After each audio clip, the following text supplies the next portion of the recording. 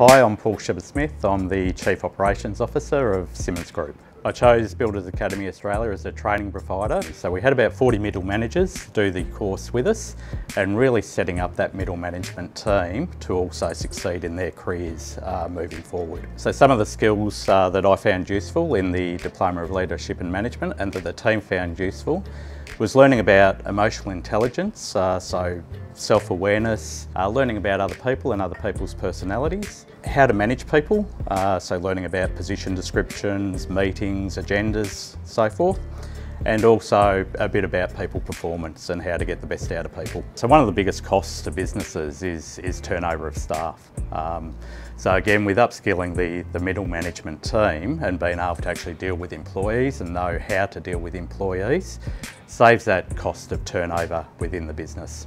Even if we didn't have government funding, we would have uh, still gone ahead with the course as the benefits would have outweighed the cost. I can see why Builders Academy was awarded the 2020 Victorian and Australian Training Provider of the Year if you're looking to uh, empower and upskill your management team, I'd choose Builders Academy Australia, uh, their Diploma in Leadership Management course, and I wouldn't wait, I'd do it now.